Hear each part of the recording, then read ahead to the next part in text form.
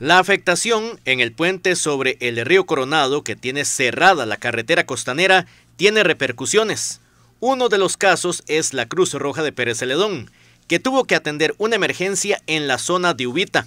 El día de hoy nos recibimos la solicitud de ayuda de parte de la Caja Costarricense del Seguro Social, específicamente de Levice de Ubita.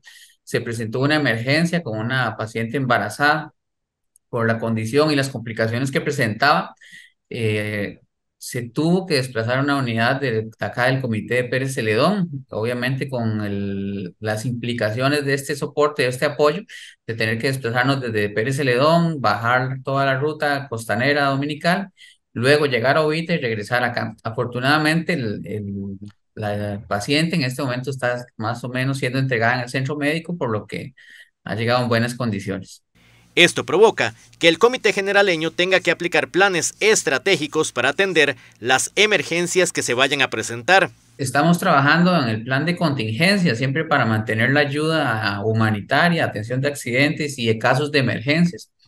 Y quizás aprovechar acá para hacer un llamado, siempre lo hacemos, que es el uso racional de los recursos y no llamar para situaciones que no sean emergencias, pero eventualmente, mientras esta situación continúe, se estará requiriendo apoyo, ya sea de la Cruz Roja acá en Pérez Celedón, y se está coordinando para ver cuál es la capacidad también de, de quepos. Esto obviamente implica traslados a centros hospitalarios que no son los habituales, en este caso Ciudad Cortés.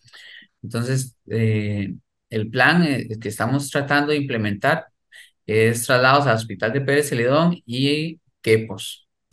El paso por la costanera se cerró desde la madrugada del martes, luego de que un camión colisionara contra la estructura Bailey.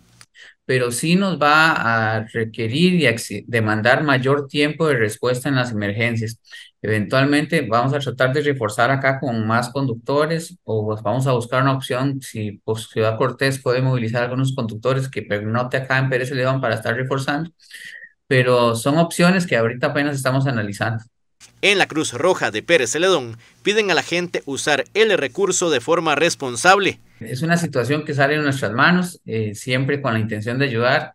Nuevamente, hacer la, la invitación y alentar a las personas a ser llamados solo o sea, al 911 en caso de emergencias que ameriten. Todos aquellos casos o pacientes que puedan trasladarse por medios propios o en vehículos particulares a los centros médicos o a los EVAIS, este, por favor hacer uso de estos recursos, ya que obviamente la Cruz Roja eh, vamos a estar un poco más eh, exigidos, vamos a tratar de darle respuesta a todos los incidentes como siempre, pero esta circunstancia tan extraordinaria nos, nos demanda un mayor apoyo. La afectación por el cierre de la costanera se presenta en varios sectores.